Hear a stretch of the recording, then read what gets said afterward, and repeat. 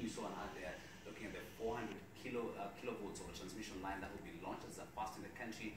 But before we get into that, we're honored to be joined by none other than the CEO, who is uh, Fernandes Barasa. Thank you so much for speaking with us. Um, so just break it down. Most people will be confused and look at what exactly does Ketraco do? Uh, I just want to highlight um, the supply chain of uh, energy. Uh, we have many players. We have uh, Kenya Power that does distribution. Uh, KenGen, of course, will do. Will do the transmission.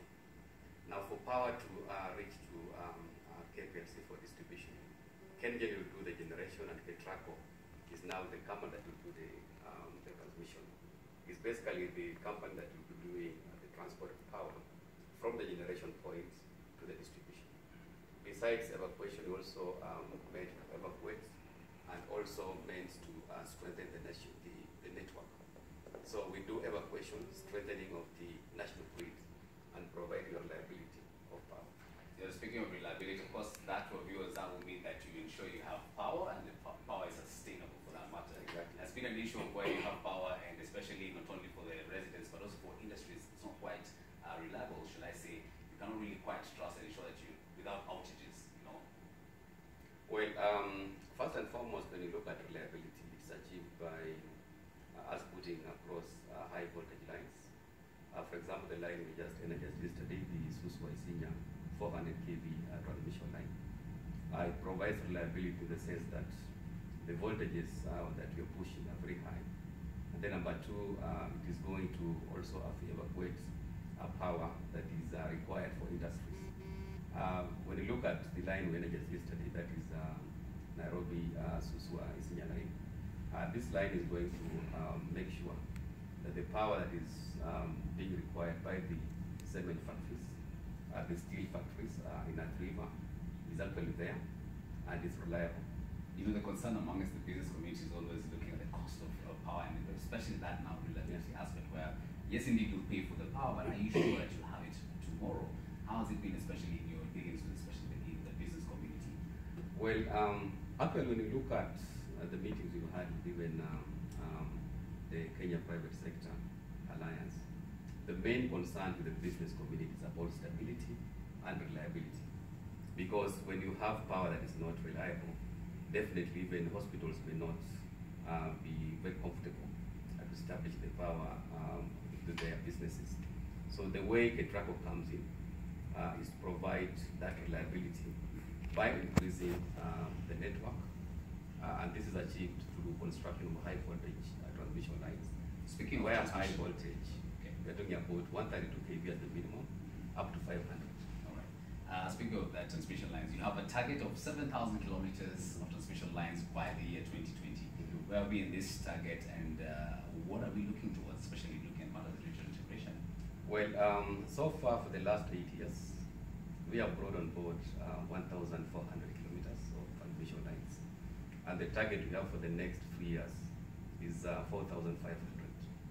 Uh, this definitely will be achieved um, by the regional interconnectors. So far we have three uh, regional interconnectors, one moving all the way from uh, Ethiopia uh, to Kenya, terminating at Loiyangalani.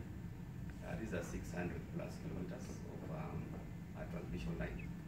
We're also doing a regional interconnector from um, Kenya here, that is Lessos, up to Tororo, uh, 312 kilometers. These a 400 kV. Does that mean that we, as, as a country, we have a lot more than now we are also trading with our regional counterparts? Well, um, the essence of regional interconnection uh, basically is that to facilitate uh, regional power trade. For example, Ethiopia is very strong in hydro. Right now, we have a challenge on hydro. So, if our transmission line from uh, Ethiopia is ready, we can evacuate or rather import power from Ethiopia. We have also a lot of power in geothermal. Once our Kenya Tanzania line is ready, uh, definitely we can also trade with our counterparts. Right. So the regional interconnection is basically for regional power trade, both importing and exporting. Um, coming back home, of course, uh, your big project right now is the Suswa uh, Isinya project, but now going forward, I don't know, what are some of the other areas or some of the regions in the country that will be looking towards uh, supplying power to? Maybe just before I go to the um, other areas, I think it's good just to talk about uh, this Suswa Isinya uh, transmission line. It's actually the first 400 kV line to be energized in Kenya and Eastern, Eastern, Central uh, Africa. Uh, this line is, um, is, a line that will provide stability within Nairobi. Uh, so far, we have connected from Suswa uh, to Isinya up to River, around 60 kilometers from Isinya. And then going forward, of course, in the next three months or so, we'll now be able to push power at Mombasa on our main uh, 400 kV Mombasa Nairobi line. Right. Now, other areas which we are looking at is um, we are having a 400 kV line uh, from Olkaria, Lessos to Kisumu, just to address the challenges of high voltage uh, um, uh, problems, especially in western region. So Olkaria, Lessos, Kisumu will deal with that. Moving power from Olkaria to western. Uh, then we're also looking at uh, areas like uh, uh, Narok Bomet. This also provide redundancy to provide um, power again from Olkaria to the western region because at the moment we have uh, some challenges of uh, power shortages in western. Okay. Uh, besides western, of course, we have also gone through uh, I- I know Lamu, there's- Okay. uh, which we also energized high voltage line there.